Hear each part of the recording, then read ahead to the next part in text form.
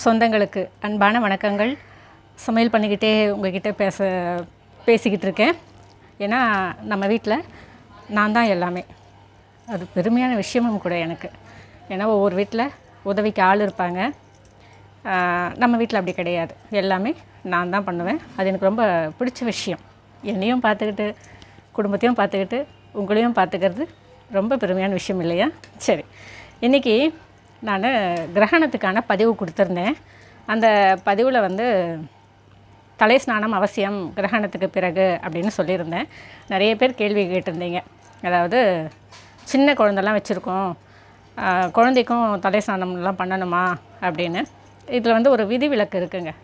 நம்மளுடைய ஆகமங்களில் ஒரு விதிவிலக்கு இருக்குது என்னென்னா சின்ன குழந்தைங்க வயசானவங்க நோய்வாய்ப்பட்டவங்க இவங்கெல்லாம் இந்த கிரகண காலங்களில் சுத்தமான தண்ணியில் மஞ்சள் கலந்துட்டு அதை தலையில் தெளிச்சுக்கிட்டாலே அந்த கிரகணத்தினால் ஏற்படக்கூடிய துவேஷம் அதாவது பாவம் அப்படின்றது நம்மை ஆண்டாது அப்படின்னு.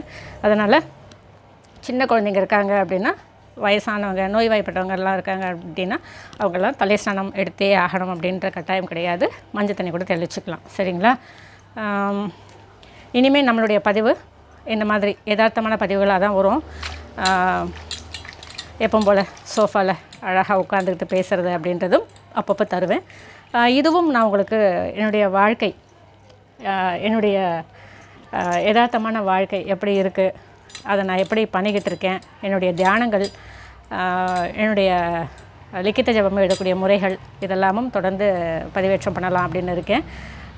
பண்ணலாமா வேணாமான்றதை நீங்கள் தான் சொல்லணும். சரிங்க. சமையல் பண்ணிட்டு வந்து மீண்டும் சந்திக்கிறேன். இன்றைக்கி நம்ம வீட்டில் பிரிஞ்சு சாதம் காய்கறிகள்லாம் போட்டு வெஜிடபிள் பிரிஞ்சு தான் பண்ண போகிறேன் பண்ணிட்டு வந்து பேசுகிறேன் வணக்கம்.